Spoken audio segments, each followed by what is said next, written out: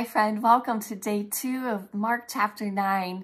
Uh, if you're short on faith today, this is a great place to be. Let's go ahead and pray.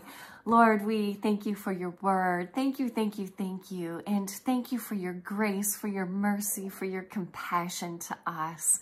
Lord, we are here because we want our faith to grow. We uh, help us, God. Help us to even have a mustard seed of faith today. In the name of Jesus, we pray. Amen. Okay, let's go ahead and read. And when they came to the disciples, they saw a great crowd around them and scribes arguing with them.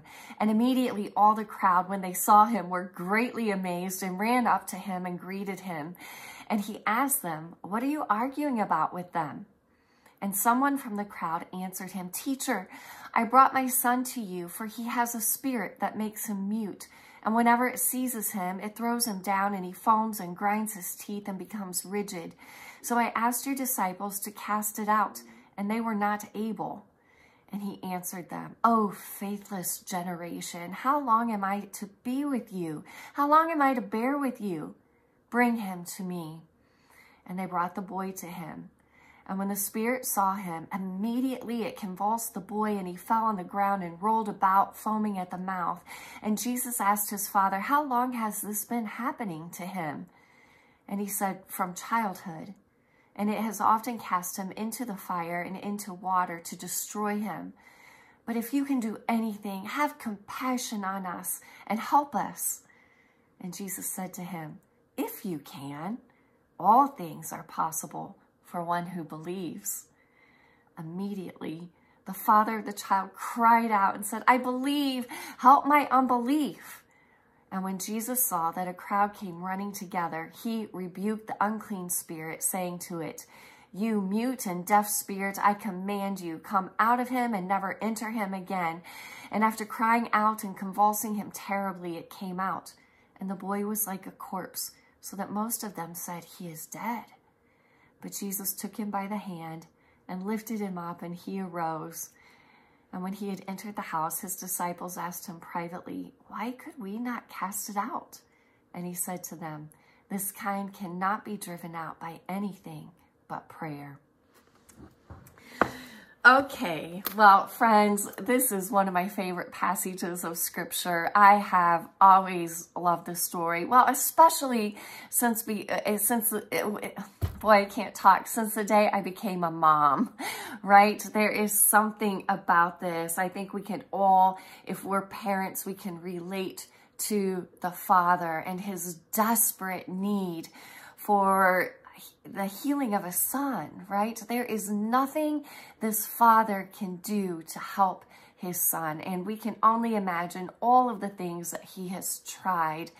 And here we are at this point where he has sought to bring his son to Jesus and find some of his disciples. So let's begin from the beginning. We have the who. We have Jesus, Peter, James, and John. They are coming back from this uh, intense time on the high mountain and they come to the other disciples and we also see that there is a crowd around them and there are scribes within the in the crowd and there's an argument going on there's some debate happening and so Jesus wants to know what what is what is going on well no I guess I asked the question what what is going on so what happens is we see the crowd, number one, they see Jesus.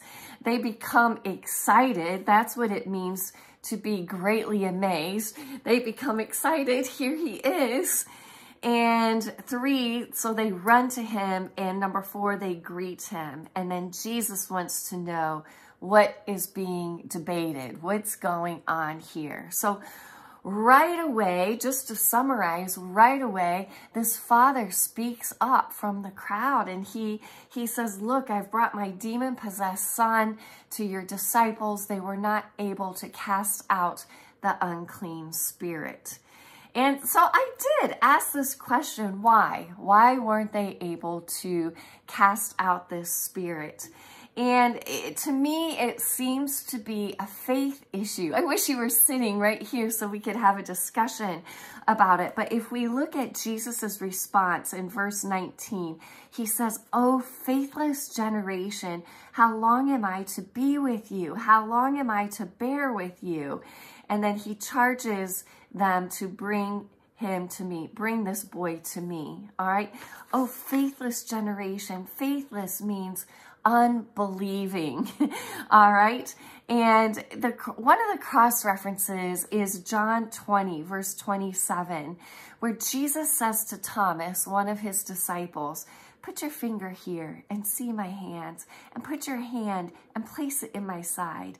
Do not disbelieve, but believe. So I'm thinking this has to do with believing and, and whether or not the disciples themselves are believing. And we kind of see that even in Jesus's response to their question. They ask the question in verse 28, why could we not cast it out? And Jesus says, this kind cannot be driven out by anything but prayer. So there, there is a piece with prayer that we need to pray with belief, right? We need to pray being at one with Jesus and the Father. All right, so, and I, I think this story highlights this beautifully. So the father explains the situation uh, the son is brought to Jesus and immediately we just see how dire the situation. This poor boy is overcome by the unclean spirit. And Mark gives a lot of detail that surely came from Peter, right? Who was an eyewitness to this. We have a lot of detail on what happened. So uh, the Jesus asked the father an interesting question. How long has this been happening to him? And, you know, uh, my first thought is Jesus is just seeking to better understand, right? Uh, but Jesus is the son of God. Like Jesus sees, he knows, he cares. And so after I pondered that for a bit, I'm thinking, you know what?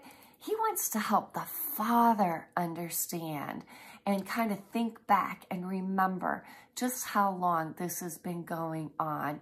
He wants the Father, don't you think? He wants the Father to recognize and remember his inability to do anything to help his son. All right, and why? Wants his father to remember why he has come to Jesus. And so the father, the father replies, uh, what verse is that? Verse 22. Or no, verse 21. That's the end of verse 21. From childhood, and it has often cast him into fire and into water to destroy him. And then the Father looks at Jesus and he says, But if you can do anything, have compassion on us and help us. So I feel like I wrote that down as the Father's first prayer, right? I mean, he's talking to Jesus. That's what prayer is. He's talking to Jesus and he says, if, if you can do anything, please, Jesus, have compassion on us. Have mercy, have grace, have favor, and help us, assist us. And you know, I think a lot of us, I don't know about you, but I feel like I have prayed in this way. I have prayed with unbelief. Lord, if you will, if you can do anything for us, please, Lord, please help us. And Jesus, I love this. Jesus says to the Father, and we can only imagine like Jesus looking right in his eyes, looking directly into his soul, says to him, if you can, like he's surprised by the unbelief, if you can, all things are possible for one who believes. So yeah, here's a gentle rebuke, but really what it is, is encouragement. What is Jesus wanting to do? Jesus is asking the pointed question. He, he, he is, yeah, he is speaking to the Father's soul. But here is grace. Here's Jesus's mercy, his compassion. He wants the Father to understand. He wants to help increase the Father's faith.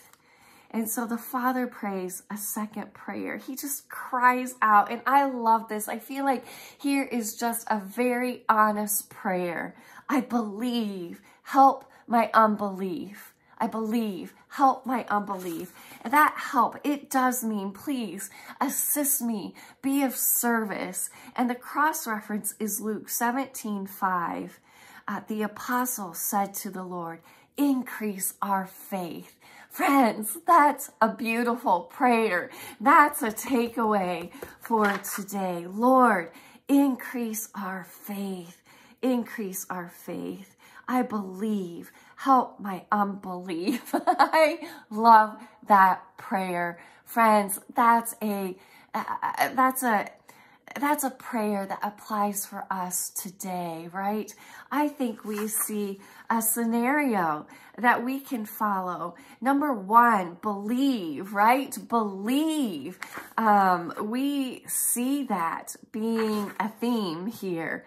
Number two, bring our loved ones to Jesus. Bring our family to Jesus and ask for help to believe. I, I just wrote down, be open and honest with Jesus and ask for help to believe. Friends, he wants to give us a mustard seed of faith. He does. It's his heart. We see his grace. We see his mercy. We see his compassion towards the Father.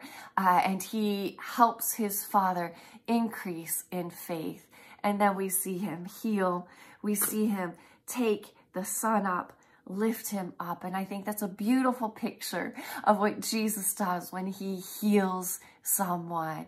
He takes them by the hand, he lifts them up and helps them up onto their feet. Oh, friends, what a beautiful passage. Lord, help us. Help us in our unbelief. Help us to believe. Increase our faith today. Let's ponder that for the day, friends.